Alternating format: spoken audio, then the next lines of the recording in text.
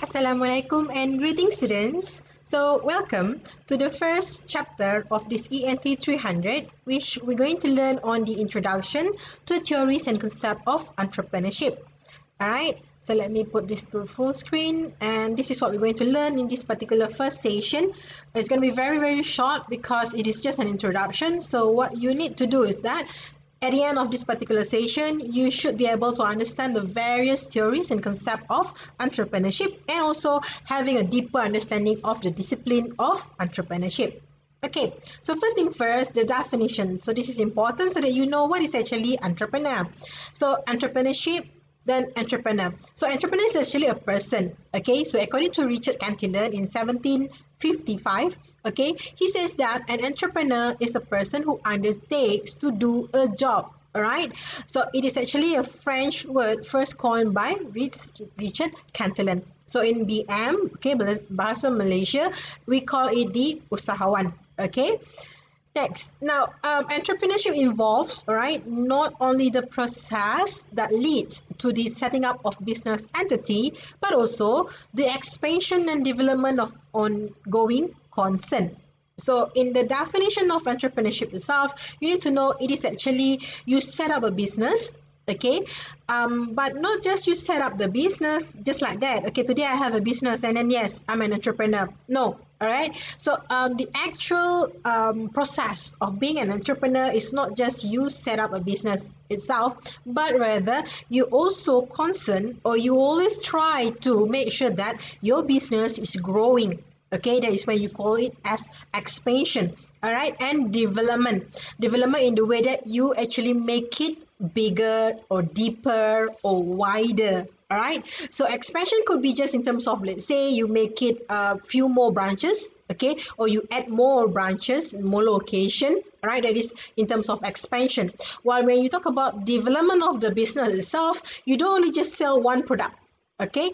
And you try to keep on uh, producing more and more products and venture into different industry or different types of product okay so the study of entrepreneurship itself is concerned with the entrepreneurial behavior.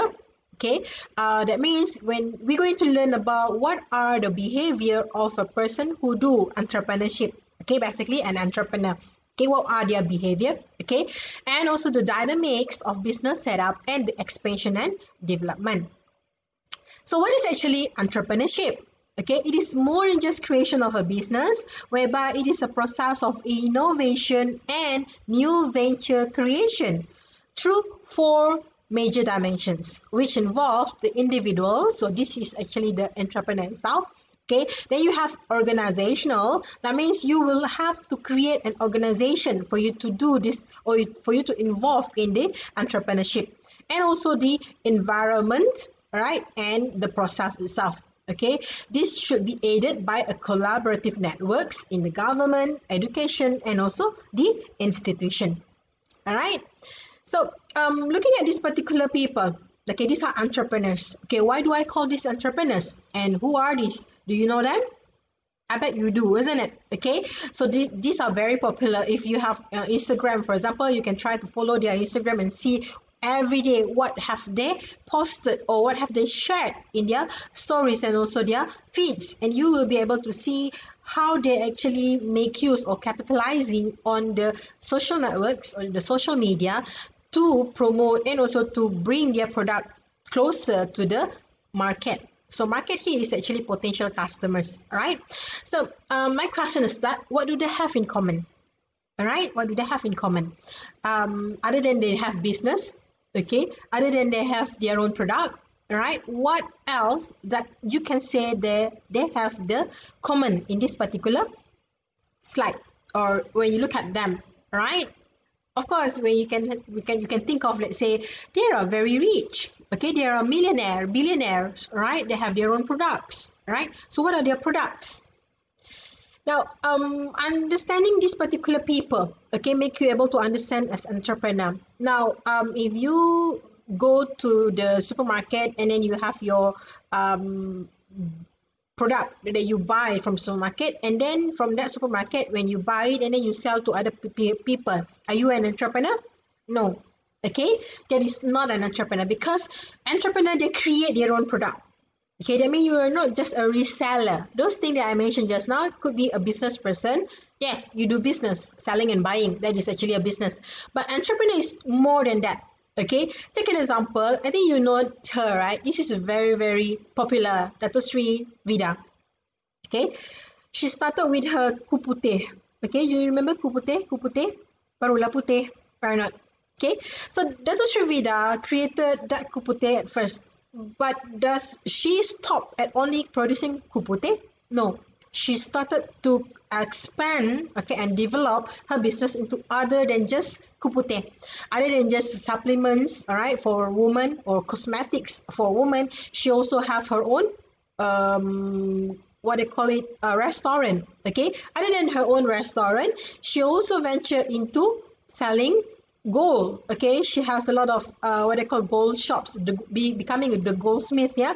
Right? So she had a lot of outlets that sells gold right? Other than that let's look at uh, Dato Sri uh, Siti Nurhaliza for example. She started as a singer okay? Then she capital capitalized on her what they call it popularity. Then she become an entrepreneur by starting with the SimplySiti cosmetics right okay? So other than this cosmetic she doesn't stop there. She don't only sell those makeups all right the, the um cosmetic for women but also she started to venture into clothing line. Then she has her own um boutique okay?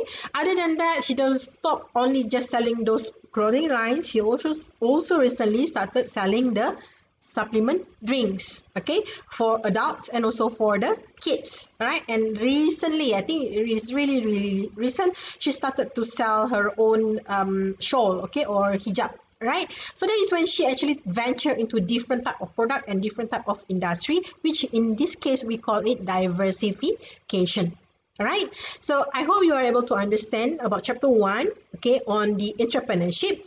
And i'll see you all in the second video for the second chapter next week. All right? Thank you guys. Bye